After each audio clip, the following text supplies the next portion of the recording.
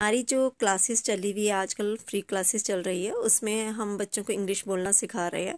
तो ये देखिए कॉन्टीन्यूसली बच्चे किस तरह से अपने आप में खुद से सेंटेंसेस बना रहे हैं और बोल रहे हैं और उसके बाद बच्चे लिखने की प्रैक्टिस भी करते हैं और किस तरह का इंटरेस्ट ले रहे हैं।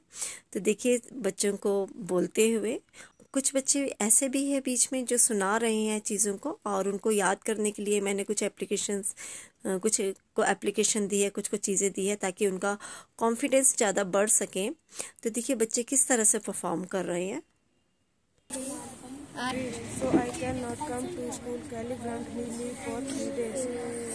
जब हम बच्चों से सुनते हैं, कुछ बोलते ठीक बोलते हैं, कुछ गलत बोलते हैं, लेकिन एक चीज़ होती है कि जब बच्चा खड़ा होकर के बोलता है तो एक तरह का उसमें कॉन्फिडेंस डेवलप होता है कि नहीं, मैं बोल रहा हूँ।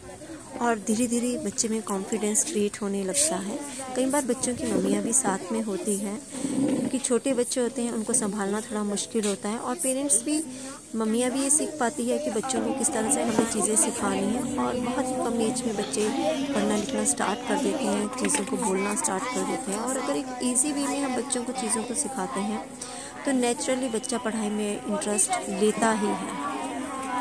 तो देखिए किस तरह से बच्चे अपने आप में बोल रहे हैं कॉन्टीन्यूसली और सभी बच्चों के बीच में मैं जा रही हूँ, सबको सुन रही हूँ कि वे कहीं गलत तो नहीं बोल रहे हैं, उनको हिंट्स दे रही हूँ कि अगर सेंटेंसेस माइंड में अपियर नहीं हो रहे हैं तो उन्होंने किस तरह से सेंटेंसेस बनाने हैं, किस तरह से बोलने हैं। बच्चे को लिखना आता है या नहीं आता, ये अलग बात है। लेकिन अगर वो बोलना सीख लेता है तो डेफिनेटली वो लिखना स्टार्ट कर ही देता है। फिर उस तरह के वेज होते हैं कि हमने बच्चे को किस तरह से लिखना सिखाना है उसे क्या प्रॉब्लम होती है, क्या प्रॉब्लम है। हर बच्चे की अलग अलग प्रॉब्लम होती है पढ़ाई से रिलेटेड और उन प्रॉब्लम्स को जैसे हम सॉल्व करने, करते जाते हैं, वैसे हर बच्चा पढ़ना शुरू कर देता है।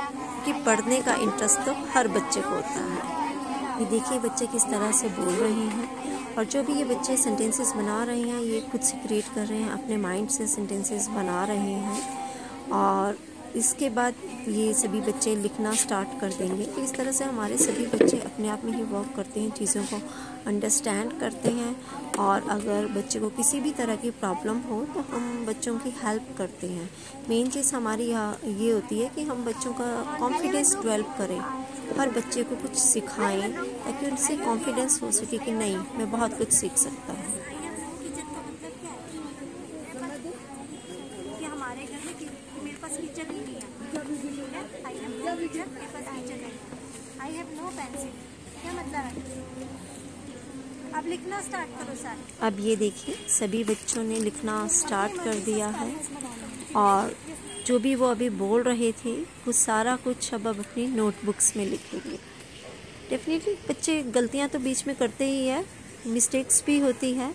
लेकिन ये होता है कि एक उनकी वर्ड फॉर्मेशन तो सही होती है और एक बार जब वो थोड़ा बोलना स्टार्ट कर देते हैं तो उसके बाद एक प्रोसेस होता है जिसमें हम बताते हैं कि आपने स्पेलिंग्स किस तरह से लिखनी है, कैसे इम्प्रूव करनी है। अगर प्रॉब्लम है तो डेफिनेटली उनका सॉल्यूशन भी है और धीरे धीरे बच्चों में एक इम्प्रूवमेंट होना शुरू हो जाती है।